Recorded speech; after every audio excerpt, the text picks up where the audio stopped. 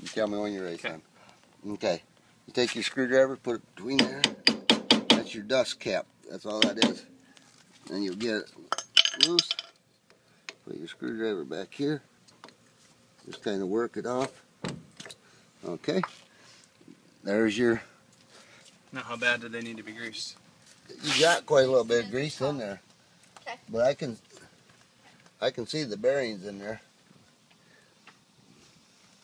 The bearings, like You more see than that? one or just one? It's a it's a round ring of bearings, Okay. Oh. Oh. Okay. and they sit behind this. okay. They're on the spline of your. Okay. Okay. So what do we do next? I mean, it, it looks like to me that you use some grease.